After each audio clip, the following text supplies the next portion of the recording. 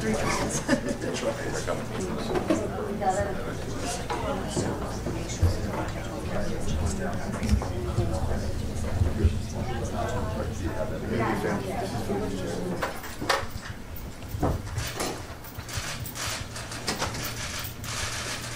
All right, this matter, State of New Jersey versus Brandon Beverly. Uh, The complaint warrant of the state, uh, of the court now, warrant 2019-401.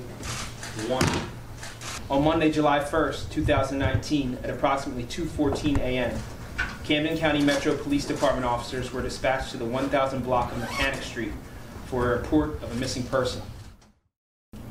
The defendant advised that he became frustrated at the failed ransom attempts and that he shot Curtis Jenkins III and left him in a garage on the 1100 block of Liberty Street. The individual was transported to the 1100 block of Liberty Street, where he she identified the garage that the defendant had access to.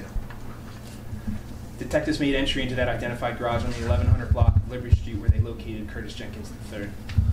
He was wrapped in a sheet, his hands and feet bound together with a plastic bag covering his head.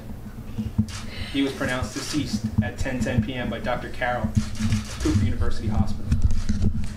I do have to finally consider the release recommendation itself of the PSA. It's no release recommended, not just because it's a murder charge, but also because the risk level is the highest that we have on the one to six scale. Six on the failure to appear risk, six on the new criminal activity risk scale.